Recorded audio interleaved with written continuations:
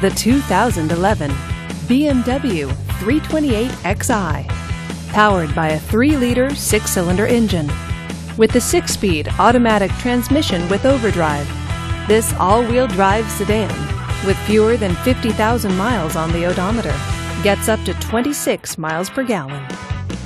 This BMW features front and rear side airbags, all-wheel drive, and hill descent control. Safety features include traction control, four-wheel ABS, and stability control.